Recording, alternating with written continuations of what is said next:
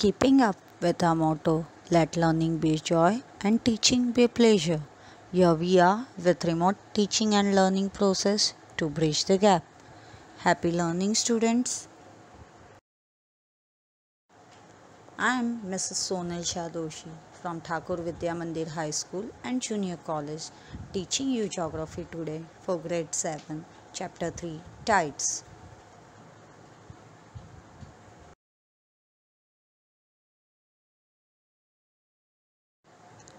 Students, you must have played with magnets many a times, right? Magnetism can either pull the two objects together or push them apart depending on which way the magnets point. Similarly, gravity is a force that acts between any two objects with mass. Earth have power of gravity. Gravity is 137 times stronger than magnetism. Earth can pull any objects with a mass on its side. Today we are going to do the power that is opposite of gravity.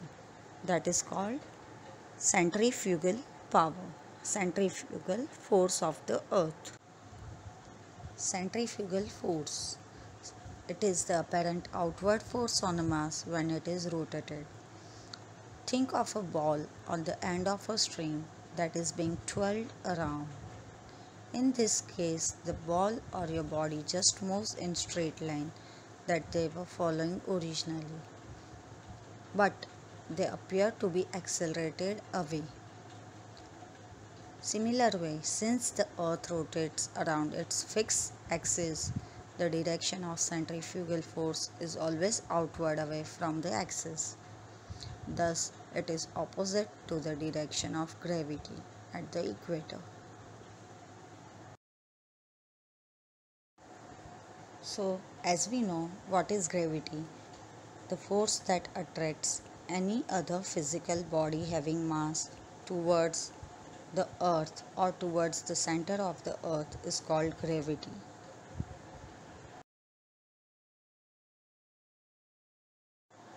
Whereas centrifugal force is exactly opposite gravity. It is an outward force it acts on every object moving in a circular path when viewed from a rotating frame of reference.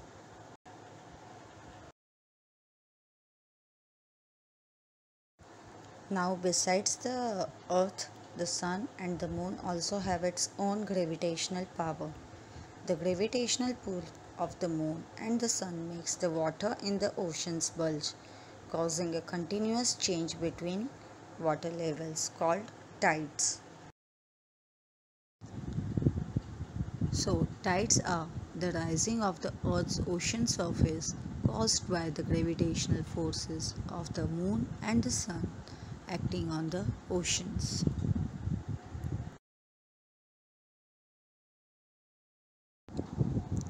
It is the periodic rise and fall of the water level in the sea. The main reasons of the occurrence of tides are as we have seen the gravitational attraction exerted on the earth by the sun and the moon and centrifugal force created due to rotation of earth. Let's check it out. The moon has a greater gravitational pull on the earth's tides as it is much more closer to the earth than the sun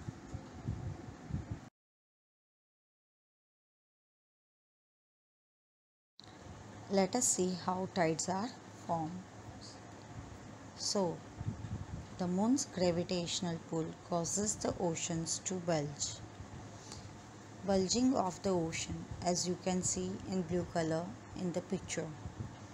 The oceans bulge in two places the side of the earth facing the moon and the side of the earth face, facing exactly away from the moon. Each of these bulges causes high tide. At the same time, low tides occur between the two bulges. The high tides are always follow the moon.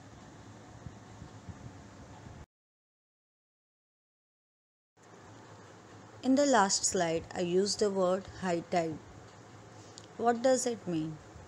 Okay, we will use two classifications to define the tide types. The one of them is height of the tide and another one is lunar phase.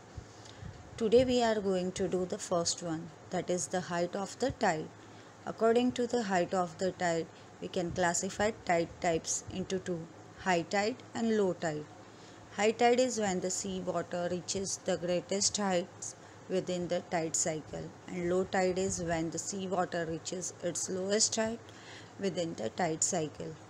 Normally there are two high tides and two low tides for every lunar day.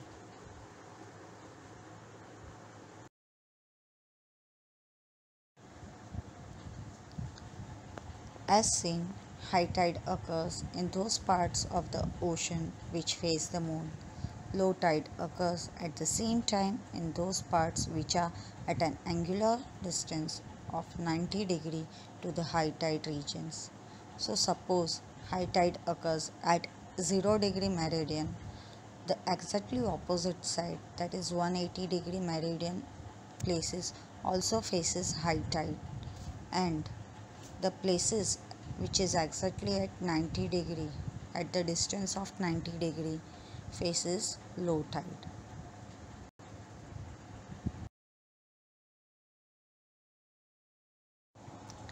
Interesting fact that we should learn.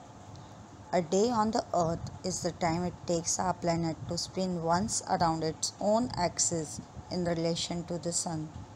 This is known as solar day and it lasts around 24 hours. However, the time it takes Earth to reach the same position in relation to the Moon is on average 24 hours and 50 minutes, known as lunar day. The reason the lunar day is longer than a solar day is that the Moon revolves around the Earth in the same direction as Earth rotates around its axis, so it takes Earth on an average additional 50 minutes to catch up the Moon. Because the tidal force of the moon is more than twice as strong as the sun's, the tides follow the lunar day and not the solar day. It takes half a lunar day on an average 12 hours and 25 minutes from one high tide to the next. So we have high and low tides nearly twice a day. So suppose 0 degree meridian place or a place on merid 0 degree meridian is facing the moon and facing high tide. It takes 12 hours 25 minutes more to reach exactly opposite direction of the moon to face high tide again and 12 more hours to complete it to complete its rotation and face the moon again. So that place is facing two high tides and two low tides during a day. So, in short, there are two high tides and two low tides in a day. The gap between two high tides are 12 hours and 25 minutes, and the gap between high tide and low tide is 6 hours.